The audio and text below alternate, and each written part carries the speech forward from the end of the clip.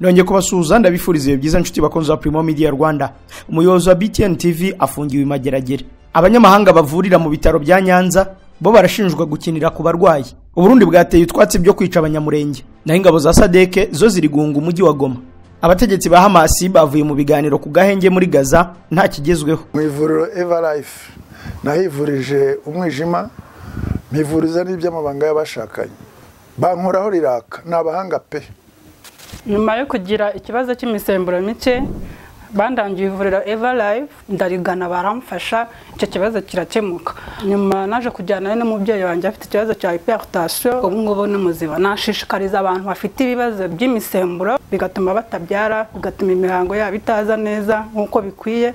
Kuba mwagana ivuriro eva life bakabafasha murakoze cyane. Ivuriro eva life rikorera nyabugogo rimaze kuba ubukombe mu rwanda no hanze yarwo mu kuvura indwara bakoresheje imiti y'ibimera kandi itunganyijwe neza mu buryo bw'ibinini pudre cyangwa liquide. Hari abadogiteri batandukanye bagufasha kandi icyiza ni uko aho waba uherereye hose ku isi imiti yakugeraho cyane ko bakorana na dhl mu ndwara bavura twavugamo nk'iz'imyororokere zose kurangiza vuba no kubura ubushake. Indwara zifata abadamu zose. Igwingira ry'igitsina indwara nk'umwijima diyabete amara igifu asima abifuza kuva ku biyobyabwenge nabo barabafasha. Ku bindi bisobanuro wahamagara cyangwa ukandikira muganga eva life icyizere cy'ubuzima.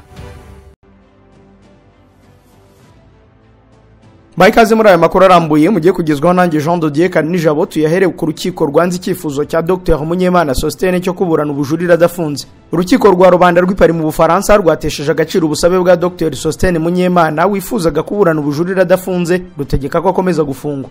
Dr Munyemana Sostene nyuma y'uko ahamijwe ibyaha bya jenoside yajuririye iki cyemezo ndetse nyuma asaba ko yafungurwa kugira ngo aburane ubujurire bwe adafunze. Dr. Munyemana yaburanye mu mpera z'umwaka ushize ku byaha yaregwaga bya jenoside ibyibasiye inyokomuntu n'ibindi bifitanye isano na jenoside. Yakoreye itumba mu karere ka Huye mu gihumbi magana cyenda mirongo icyenda na kane. Icyo gihe nyuma yo kumva abatangabuhamya batandukanye yamijwe ibyaha akatirwa gufunga imyaka makumyabiri n'ine. Biteganyijwe ko azaburana ubujurire bwe mu mwaka utaha bibiri na makumyabiri na gatanu nk'uko byagarutsweho n'umwe mu bunganira abaregera indishyi muri uru rubanza Metre Gisagara Richard. Icyemezo cy'urukiko rero kivuga ko impande zose bireba zaburanye kuri ubu busabe bwa munyemana ko yaburana adafunzwe ariko haza kwemezwa ko azaburana afunzwe Metre Gisagara Richard ufite uburambe mu kunganira abaregera indishyi mu manza z'abasize bakoze jenoside mu Rwanda zibera hanze y'u Rwanda ubwo yaganiraga na Kigali Today mu mpera z'icyumweru gishize yari yavuze ko bitashoboka kuba munyemana yaburana ari hanze ashingiye ku kuba nta mpamvu ihari yatuma urukiko rumwemerera ibyo. Yavugaga ko kuba umuntu yaburana adafunzwe byemererwa umuntu urwaye kandi we akaba nta burwayi agaragaza afite bwatuma adafungwa kuba mu gihe amaze afunze ataburana atarigeze agaragaza ko uburenganzira bwe bwavogerewe icya gatatu gikomeye akaba ari uko icyaha yahamijwe n'urukiko ari icyaha gikomeye. Naho sena y'u rwanda yemeje general nyamvumba nka ambasaderi w'u rwanda muri tanzania. Inteko rusange ya sena y'u rwanda yemeje bidasubirwaho ko general patrick nyamvumba uherutse kugirwa ambasaderi w'u rwanda muri tanzania yujuje ibisabwa bituma yuzuza inshingano neza. Inama ya minisitiri yo ku itariki ya makumyabiri na zirindwi z'ukwezi gushize kwa kabiri niyo yagennye ko general patrick nyamvumba aba ambasaderi w'u rwanda muri tanzania agasimbura fatu harerimana. Tariki ya kane z'uku kwezi ni bwo komisiyo y'ububanyi n'amahanga ubutwererane n'umutekano muri sena y'u rwanda yasuzumye dosiye ya general nyamvumba bareba niba yujuje ibisabwa kugira ngo asohoze inshingano yahawe. Hadija ndangiza murangwa perezida w'iyi komisiyo yagaragarije inteko rusange ya sena ko basanze general patrick nyamvumba afite ubumenyi n'ibisabwa mu kuzuza neza inshingano yahawe. Abasenateri kandi bemeje kamanzi francis nk'umuyobozi mukuru w'urwego rw'igihugu rushinzwe mine gaze na peteroli perezida wa komisiyo y'ubukungu n'imari senateri nkusi juvenali yatangaje ko bakurikije inararibonye afite azateza imbere ubucukuzi bw'amabuye y'agaciro mu rwanda. General Nyamvumba yabaye minisitiri w'umutekano mu gihugu kuva mu kwa cumi na kumwe kwa bibiri na cumi n'icyenda kugeza mu kwa kane kwa bibiri na makumyabiri. Muri bibiri na cumi na gatatu ni bwo General Nyamvumba wavutse mu gihumbi magana cyenda mirongo itandatu na karindwi yagizwe umugaba mukuru w'ingabo z'u Rwanda asimbuye Lutena General Charles Kayonga wari usanzwe ari umugaba mukuru w'ingabo. Icyo gihe Nyamvumba yari asoje imirimo ye nk'umuyobozi w'ingabo za Loni zibungabunga amahoro mu gace ka Darfur aho yayoboye kuva mu 2009 kugeza mu 2013 General Nyamvumba yarangije mu ishuri rikuru rya gisirikare muri Nigeria ndetse mu ishuri rikuru rya gisirikare ryo muri Afurika y'Epfo mu 2003 yagiye ashingwa imirimo itandukanye mu ngabo z'u Rwanda irimo kuyobora batayo y'ingabo zirwanira ku butaka mu 1995 kuyobora umutwe ushinzwe imodoka z'intambara mu 1996 ndetse no kuyobora brigade y'ingabo zirwanira ku butaka muri 1997 hagati y'icyenda n'umunani n'icyenda n'icyenda yabaye umuyobozi ukuriye ibikorwa igenamigambi n'imyitozo ku rwego rw'icyicaro gikuru cy'ingabo. Yayoboye ikigo gishinzwe gutegura abasirikare bajya mu butumwa bw'amahoro kuva mu bibiri na kane kugeza bibiri na karindwi. Indi mirimo yashinzwe harimo kuyobora itsinda ryiga ku ihurizwa hamwe ry'umutwe umwe w'ingabo z'u rwanda kuyobora komite ishinzwe ingengo y'imari y'ingabo ayobora umushinga wari ushinzwe kwiga ishyirwaho ry'ishuri rikuru rya gisirikare. General nyamvumba yanabaye intumwa ihuza u rwanda afurika yunze ubumwe n'umuryango w'abibumbye aho yagiye ashingwa kuganira n'izo nzego no gusinya amasezerano n'ubufatanye ahagarariye igihugu cy'u rwanda. Yabaye umuyobozi w'ishami rikuru rya gisirikare rishinzwe gucunga ibikoresho. Mu bihumbi bibiri na karindwi yabaye perezida w'urukiko rukuru rwa gisirikare. Afite imidari myinshi irimo uwo kubohora igihugu wo guhagarika jenoside uw'urugamba rwo hanze y'igihugu uw'ishyirwaho ry'umukuru w'igihugu wo kuyobora ingabo uw'ibikorwa byo guteza imbere igihugu umudari witiriwe nili n'uwo gukorera loni igihe kirekire. Naho umwe mu bayobozi ba btn tv afungiwe imageragere urwego rushinzwe ubugenzacyaha rib rwatangaje ko uwera pacifique ahmed umuyobozi wa btn tv akaba n'umunyamigabane wayo yagiye gufungirwa muri gereza ya nyarugenge mageragere. Akurikiranyweho ibyaha byo gutanga sheki zitazigamiye bisanga ibindi byaha yari yahamijwe n'urukiko. Rib iheruka gutangaza ko ku itariki ya mbere z'uku kwezi yafunze umuyobozi mukuru wa televiziyo btn akaba n'umunyamigabane wayo wera pacifique ahmed. Akurikiranyweho icyaha cyo gutanga sheki zitazigamiye zifite agaciro ka miliyoni cumi n'imwe n'ibihumbi magana cyenda mirongo irindwi na bine. Ni icyaha ribu yasobanuye ko yakoze mu bihe bitandukanye aharegwa gutanga sheki zitazigamiye ubwo yaguraga ibikoresho binyuranye birimo na televiziyo za rutura. Umuvugizi wa ribu dr. Murangira thierry aheruka kubwira ikinyamakuru umuseke ko uyu uwera pacifique n'ubundi yari afite ikindi kirego ari gukurikiranwaho cyo gutanga sheki itazigamiye akaba yari yahanishijwe igifungo cy'umwaka umwe n'urukiko. Tariki ya makumyabiri n'imwe z'ukwa karindwi kwa bibiri na makumyabiri na gatatu ni bwo urukiko rwamuhanishije icyo gifungo cy'umwaka umwe n'ihazabu ya miliyoni umunani n'ibihumbi magana atanu mirongo itanu na bitandatu by'amafaranga y'u rwanda. Uvugira ribu dr. Murangira thierry yabwiye umuseke ko yahawe iki gihano adafunze uru rubanza ariko rwabaye itegeko kuko rwateweho kashe mpuruza akaba agiye kurangiza igihano yahawe.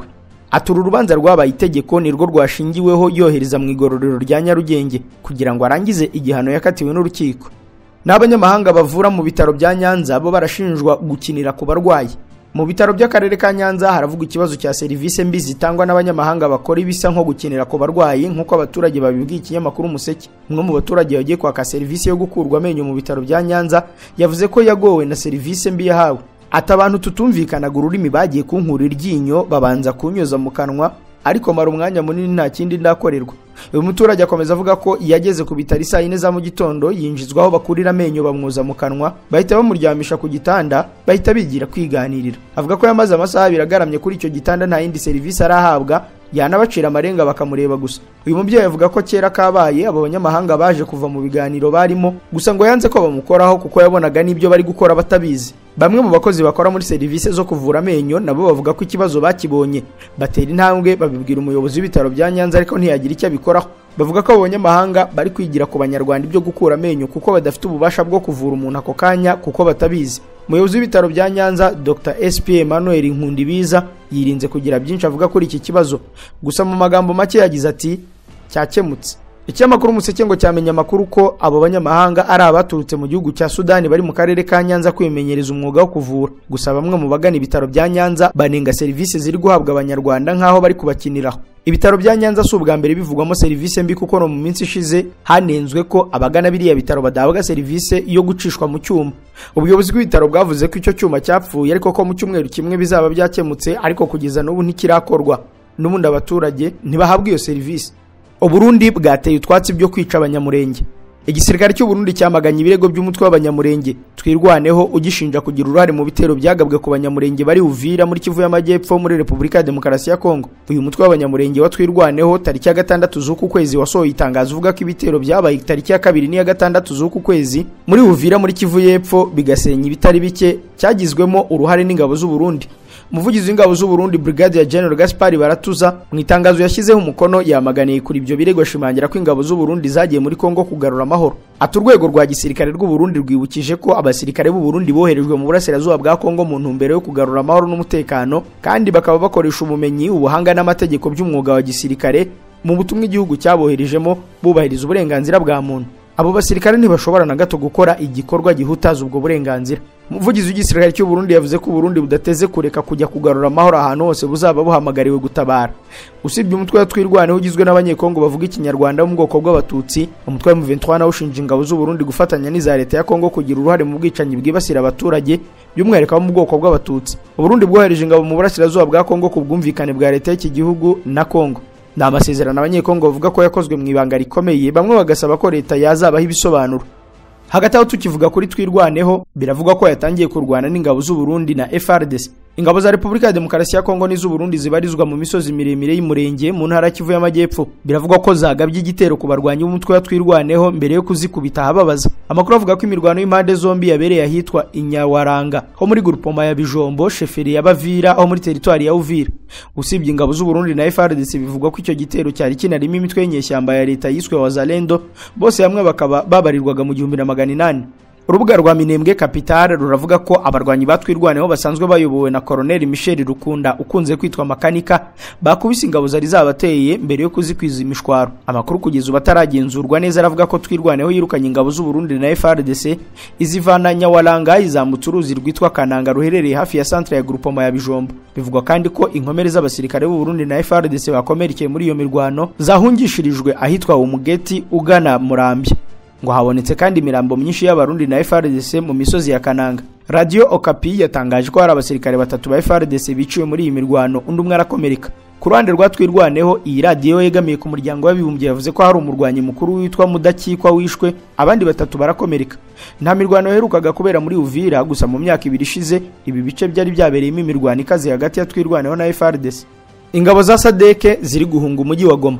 Amakuru aturuka muri repubulika ya demokarasi ya kongo aravuga ko ingabo z'umuryango wa sadeke zari mu mujyi wa goma ziri kuhava zerekeza i bukavu ingabo zo mu bihugu bya afurika y'epfo malawi na tanzania ziri muri repubulika ya demokarasi ya kongo kuva mu mpera z'umwaka ushize wa bibiri na makumyabiri na gatatu aho zaje gufasha frdc mu ntambara ihanganyemo na m23 zimwe muri izi ngabo nizo zarindaga umujyi wa goma mu rwego rwo kwirinda ko waterwa na m23 ikanawigarurira. Amakuru y'ikinyamakuru bwiza cyamenye ngo ni uko kuva ku gicamunsi cyo kuwa kane saa cyenda ari bwo izi ngabo zavuye i goma zitwawe n'amato zerekeza i bukavu ziciye mu kiyaga cya kivu. Amakuru avuga ko ingabo za sadeke zahisemo kuva i goma bijyanye n'uko umwuka utifashe neza hagati yazo n'igisirikare cya kongo nyuma y'uko inyanzare hafashwe. Aya makuru akomeza avuga ko hashize iminsi icumi hari ubwumvikane buke hagati y'izi ngabo ndetse n'igisirikare cya FRDC biturutse ku gusigana kujya ku rugamba. FRDC zishinja kuyitererana ku rugamba zanga kurwana na M23 ahubwo zikarushoraho inyeshyamba zo mu mitwe ya leta ya Kinshasa yiswe Wazalendo nyamara ari cyo Sadeke yazaniwe. Icyatumye habaho kuva mu mujyi wa Goma ntikivugwaho rumwe kuko hari abavuga ko ari ifatwa rya Nyanzare ryazanye uruntu runtu mu gihe hari n'abavuga ko biri guterwa n'uko uyu mujyi wa Goma ukomeje kugarizwa n'inzara. Mu gihugu cya Kenya opozisiyo igiye kwitambika umwanzuro wo kohereza abapolisi muri Haiti. Dr. John Ekuru umunyapolitiki utavuga rumwe n'ubutegetsi bwa Kenya yavuze ko ateganya gutangiza ikindi kirego gishya cy'urukiko kirwanya gahunda yo kohereza abapolisi muri Haiti. Uyu munyapolitike avuga ko bidakwiye ko Kenya yohereza abapolisi muri Haiti mu gihe Perezida Ruto atarakemura ikibazo cy'umutekano mu gihugu cye. Ati ntabwo bikwiye ko twohereza abapolisi kugarura umutekano muri Haiti. Abanyamerika abafaransa abanyakanada n'abanyabrezil bafite ingufu zikomeye. Barahari. None n'iki Kenya igiye gukora muri Haiti mu gihe tudashobora no guhangana n'abajura b'inka mu majyaruguru ya Kenya? Mu kwa cumi k'umwaka ushize Kenya yari yemeye kohereza abapolisi muri Haiti ariko mu kwa mbere k'uyu mwaka urukiko rukuru rwa Kenya rwahagaritse iyi gahunda yo kohereza abapolisi muri iki gihugu kuko binyuranyije n'itegeko nshinga kubera ko nta masezerano azwi hagati y'ibihugu byombi. Kwa gatanu ushize perezida William Ruto yatangaje ko we na minisitiri w'intebe wa Haiti Ariel Henry basinyanye amasezerano agamije gukurikirana byihuse kugenda kwa polisi ya Kenya muri Haiti. Ibihumbi n'ibihumbi by'abanyahayiti bakomeje kugenda bapfa abandi bakaburirwa irengero. Umurindi w'ubwicanyi kugeza ubu ukomeje gufata indi ntera nyuma y'uko amabandi yigaruriye igihugu asabye ko minisitiri w'intebe Ariel Henry yegura. Naho bidasubirwaho Suwede yinjiye muri OTAN. Amerika yatangaje ko Suwede yinjiye mu muryango wo gutabarana mu bya gisirikare uhuza ibihugu by'i Burayi na Amerika OTAN. Umunyamabanga wa Amerika ushinzwe ububanyi n'amahanga Anthony Blinken yatangaje ko ibyo Suwede yasabwaga byose kugira ngo yinjire muri uyu muryango yamaze kubyuzuza. Kwemezwa kwa Suwede biteganyijwe ko kuzakurikirwa n'umuhango nyirizina uzabera i Washington DC mu minsi iri imbere. Icyo gihe minisitiri w'intebe Ulf Kristersson azabishyikiriza Blinken. Minisitiri w'intebe wa Suwede yatangaje ku rubuga rwa X ko umunyamabanga mukuru wa OTAN Jens Stoltenberg yamumenyesheje ko ibihugu bisanzwe muri uyu muryango byamaze guha Suwede ikaze ku mugaragaro. Uburusiya buhora buhanganye na otani bwo bugaragaza ko nta kibazo butewe no kuba suwede yakwinjira muri uyu muryango. Ariko ko bizatuma bwongera imbaraga ku mipaka buhana n'iki gihugu. Otani yashinzwe mu gihumbi magana cyenda mirongo ine n'icyenda nyuma y'imyaka ine intambara ya kabiri y'isi irangiye. Kuri ubu igizwe n'ibihugu mirongo itatu na bibiri. Hongiriya iremeza ko ubuhangange bw'abanyaburayi buri mu marembera. Minisitiri w'intebe wa hongiriya victor orban yavuze ko ubuhangange bw'abanyaburayi mu mitegekere y'isi buri ku iherezo. Ahanini bitewe n'imyitwarire yabo ku ntambara y'uburusiya na ikirere ndetse n'imitegekere mishya y'isi. Minisitiri w'intebe victor yavuze ko ibihugu biri mu muryango umwe bw'uburayi n'uwo gutabarana wa otani ubuhangange bwabyo bwatakariye cyane ku ntambara y'uburusiya na ikirere imaze imyaka ibiri ibi bihugu bitangamo ubufasha ndetse byaranageneye ibihano uburusiya ariko ntibigire icyo bitanga. Yavuze ko uburyo bwose bukoreshwa bwo gushyigikira ikirere budashobora gutuma itsinda intambara ahubwo ko ari nko kuruhira ubusa kuko ibiganiro ari byo byakemura ikibazo. Hongiriya ivuga kandi ko uko ibiganiro by'amahoro bitinda gutangira ariko ikirere ibihomberamo kurushaho kuko ari na yo iberamo urugamba ndetse ko burayi inkunga yose bwatanga nta n'umwe wizeye ko ikirere ishobora gutsinda uburusiya. Gusa yavuze ko nubwo hongiriya na yo iri mu muryango umwe bw'uburayi izakomeza gushyiraho politike n'imirongo bituma isigasira ubusugire bwayo asaba kwita cyane ku mitegekere mishya y'isi iri kugenda ihindura isura. Naho uburusiya bwahaye gasopo ambasaderi wa amerika. Minisiteri y'ububanyi n'amahanga y'uburusiya yaburiye abadiplomate ba leta z'ubumwe za amerika bari i moscow ko nibakomeza gukorana n'imiryango itatu itemewe bazirukanwa. Ubu butumwa ambasaderi wa amerika mu burusiya line tracy yabuhawe ubwo yari yatumijwe kuri iyi minisiteri. Ambasaderi tracy yamenyeshejwe ko iyi miryango itari iya leta ngos yashyizwe ku rutonde rw'idakenewe mu burusiya bitewe n'uko ifite inyigisho n'imico bihabanye n'indangagaciro z'iki gihugu. Ikinyamakuru rt cy'uburusiya ntabwo cyatangaje amazina y'iyi miryango. Uretse ko cyasobanuye ko isanzwe itanga akazi ko gukora mu mishinga y'uburezi n'umuco. Uyu mudiplomate n'abo bakorana basabwe guhagarika imikoranire iri hagati yabo n'iyi miryango bakanakura ku rubuga rwa interineti rwa ambasade amazina yayo yose. Kugeza mu kwezi kwa kabiri kwa bibiri na makumyabiri na kane uburusiya bwaciye imiryango itari iya leta igera ku ijana na mirongo ine n'itandatu. Bisobanuye ko itemerewe kugira ibiro muri iki gihugu kandi ntiyemerewe gusohora amatangazo arimo izina ry'iki gihugu. Tukiri mu burusiya perezida putin yateye utwatsi ibyo gusubira muri g7 perezida w'uburusiya vladimir putin yatangaje ko ibyo gusubira mu muryango w'ibihugu bikize ku isi g7 atabikozwa kuko n'ubusanzwe ibyo bihugu bititaga ku nyungu z'igihugu ayoboye. Putin yavuze ko mu bihe byashize ibihugu byinshi birimo n'uburusiya byashakaga kwinjira muri uyu muryango. Ariko igihugu cye gihagarikwa kuva mu bibiri na cumi na kane ubwo cyiyomekagaho intara ya crimea ivuye kuri ukraine. Ku mugoroba ubwo yari mu ihuriro mpuzamahanga ry'urubyiruko yasobanuye ko gusubira muri uyu muryango nta kamaro bifitiye igihugu cye kuko nta n'umwe wigeze yita ku nyungu z'uburusiya. Yakomeje agaragaza ko ibihugu bikize bitifuza koroshya ubuhahirane mu by'ubukungu mu buryo bwafungurira isoko ibihugu bikiri mu nzira y'amajyambere na byo bikabasha gutera imbere bidashyizweho amananiza umuryango w'ibihugu bikize kurusha ibindi ku isi G7 ugizwe na Amerika, Canada, Ubudage, Ubufaransa, Ubwongereza, Ubutaliyani n'Ubuyapani. Amakuru ari kugarukwaho mureke tuyasoreze ku bategetsi ba Hamas bavuye mu biganiro ku gahenge muri Gaza nta kigezweho. Intumwa za Hamas ntizahiriwe n'ibiganiro byabereye i Cairo mu Misiri ku guhagarika intambara ihuza uyu mutwe na Isiraheli. Ni ibiganiro byahuzaga impande zombi ku guhagarika intambara imaze hafi amezi atandatu, gusa byarangiye ntacyo bigezeho. Ni mu gihe byari byitezwe ko hatangwa agahenge k'iminsi mirongo ine y'igisibo gitagatifu cya Ramadhan izatangira mu cyumweru gitaha. hagati aho uko intambara ikomeza ni nako benshi mu ntara ya Gaza irimo kuberamo imirwano bakomeje kwibasirwa n'inzara kugeza ubwo benshi bakomeje no kuhasiga ubuzima abahuza bo mu Misiri na Katari baracyakomeje gahunda yo guhuza impande zombi mu gushaka uko intambara ishyirwaho iherezo ariko ngo biracyagoranye. Ni mu gihe Isiraheli ikomeje gushinja Hamas kuyigabaho ibitero no gushimuta abagore n'abakobwa bakabasambanya ku ngufu. Iyi ntambara yatangiye ku itariki ya karindwi z'ukwa cumi k'umwaka ushize itangizwa na Hamas ubwo bahitanaga abantu bagera ku gihumbi magana abiri muri Isiraheli bakanafata bugwate abagera kuri magana abiri mirongo itanu na batatu. Minisiteri y'ubuzima ya Gaza igenzurwa na Hamas ivuga ko kuva icyo gihe abantu ibihumbi mirongo itatu na magana inani biciwe muri Gaza. Nshuti bakunzi ba Primo Media Rwanda iyi nkuru y'agahenge hagati ya Israel na Hamas niyo dusoreje amakuru ari kugarukwaho muri aka kanya. Njye Jean Dodier Kanijabo ndabashimiye ko mwarimu yakurikiye. Ukomeze kureba n'ibindi biganiro biri kuri uru rubuga ugira amahoro y'Imana.